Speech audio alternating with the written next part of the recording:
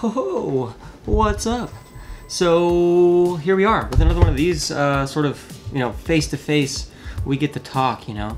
Just to jump right into it, I hear some of you aren't confident with going to Asian grocery stores for the first time, so I figured I'd give you four tips and then maybe some honorable mentions to some stuff, maybe just to get your kind of foot in the door at these places. So starting off with number one, everyone talks about how they love Asian food because it feels so exotic and it, you know, I guess that that scratches the similar itch to us, you know, in our desire to travel. Everyone always talks about it. You know, you have the you have the girl with like the little airplane and like the little she's got like the globe on her back or something, and um, you know, you talk this big game about loving to travel. You have this multicultural experience in several areas of your city, wherever you're living. And we're talking like, at minimum, three different cultures with vast varieties of their signature ingredients, foods, whatever. It's an incredible time for you to tap into your adventurous side and just hype yourself up. As long as we're excited about it, I think that there's plenty to be gained. It's all about trying something new. Like for me, I always go for like Pocky, which are like the little like stick, like pretzel almost, like covered in chocolate. There's like a thousand flavors of those, and I swear there's always different flavor every time I go in. That is just a consolation prize with whatever else you're getting, you know? Just have a little snack, you know, try some new chips. Try, you know, there's crazy variety of chips. You know, there's there's like honey butter chips, there's nori flavored chips, which is like the seaweed paper, and then you've got shrimp flavored chips, which tried once, probably won't be buying again. It's, it's a lot honestly a lot to take in. I love shrimp, and I had like three in the whole bag. We're talking like a bag of chips that I threw away just because shrimp, you know? Like, really shrimp. It's low cost, and it's gonna be either amazing or even if you don't like it, like the shrimp chips that are, you know, borderline traumatic, you know, you're out like $3. Moving on, let's talk about the structure of the store really quick. Think about it as just like the international section or like the Asian section of your grocery store, but just the entire store. You know, it's structured in a similar way to like a Publix or a Kroger or whatever you have near where you live, to where you know, if you're looking for jasmine rice and all you see is short grain rice, within like a five foot radius of you is gonna be what you're looking for. And then, you know, if you're looking for soba noodles, all you see is udon and ramen. I'm telling you, within like three packages to the left, like don't don't quit so easily. You know, you're better than that and noodles are worth it.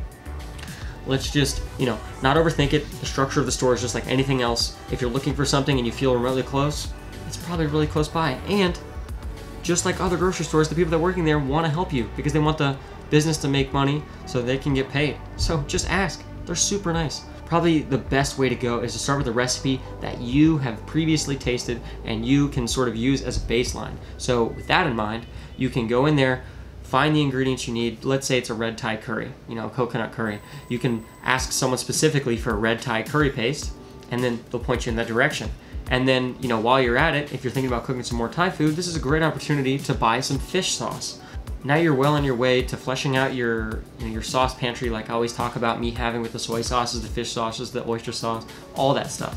I mean, you can cover so much ground in Pan Asian cuisine with some of those sauces. And then this ties back into the structure, right? Where like, oh, maybe I like something else. Like if you're looking for like, you know, dried chilies for this. And then while you're in that area, you're like, oh, Szechuan peppercorns maybe, so I can make some some uh, Sichuan Chinese cooking. Then boom, I mean, I mean, it's like right there. So you're doing it. I know a lot of these things kind of seem unreachable because of the the language barrier, but I can assure you that the labeling in some in some way, I mean, it, it's probably really vague.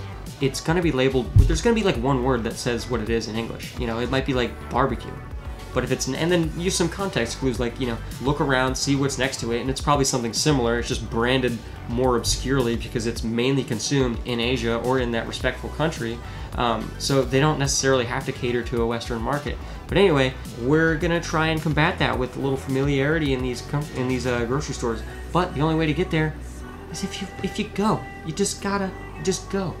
All right. Anyway, so moving on because I don't want to yell at you. So exciting! It's just such an experience to go in there and just be overwhelmed. It's so rare in like you know the country of your birth, for example, in America, to just go in a place and feel completely unaware of, of like 90% of what's going on.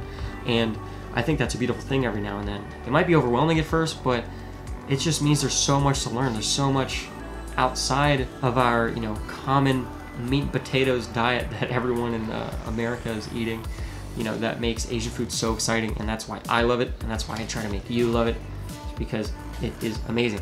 So, with that in mind, I hope this inspired you in some way. I hope it gave some insight as to you know, how not to overthink the, the layout or you know the reasons for going. Just like anything, you don't really need a reason to, to do most things, you know. If you like this video and if it gave you any sort of inspiration to take that first step, if you felt like I was the wind in your sails, treading these uncharted waters, which is an Asian grocery store, then I hope you like, comment, and subscribe, and then you ring the bell. I hate saying it, but it does help me a lot with helping my channel grow, and the more my channel grows, the more content like this I can make for you. And that's about it for me. I hope that helped. Uh, I mean, it sounded pretty good to me. what do you think? Yeah,